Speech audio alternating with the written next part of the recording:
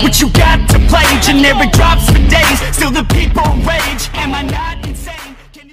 Assalamualaikum. Halo sahabat Info 19. Selamat datang kembali di channel ini. Seperti biasanya, kali ini Mimin akan mereview gaji ataupun penghasilan channel Gerard Wijaya dari YouTube. Mungkin tak perlu berlama-lama lagi langsung saja ke pembahasannya. Enjoy!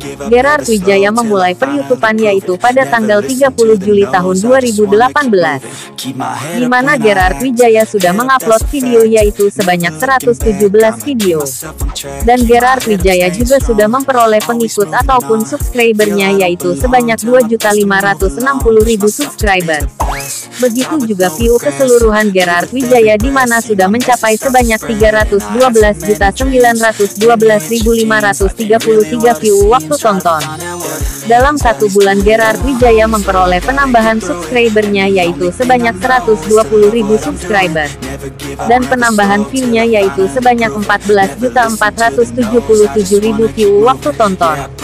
Bila dilihat dari estimasi harian baik itu penambahan subscriber, view, begitu juga penghasilan Gerard Wijaya dari YouTube. Di mana pada tanggal 20 April sampai tanggal 29 April, Gerard Wijaya memperoleh penambahan subscribernya sebanyak 10.000 subscriber, dan penambahan view-nya yaitu sebanyak 383.000 sampai 1 juta view waktu tonton. Begitu juga penghasilannya yaitu sebanyak 96 dolar sampai 408 dolar. Atau setara dengan 1.344.000 rupiah sampai 5.712.000 rupiah. Membahas mengenai penghasilan per bulan Gerard Wijaya dari YouTube. Di mana Gerard Wijaya sudah berpenghasilan sebanyak 3.600 dolar sampai 57.900 dolar. Yang bila disetarakan ke rupiah yaitu setara dengan 50.400.000 rupiah sampai 810.600.000 rupiah.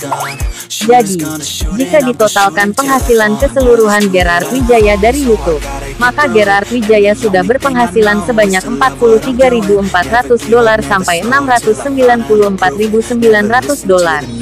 Yang bila disetarakan ke rupiah yaitu setara dengan 607.600.000 rupiah sampai 9.728.600.000 rupiah. Itulah yang bisa Mimin rangkum mengenai penghasilan Gerard Wijaya dari YouTube. Semoga video singkat ini bermanfaat untuk kita semuanya. Amin. Sekian. Wassalamualaikum.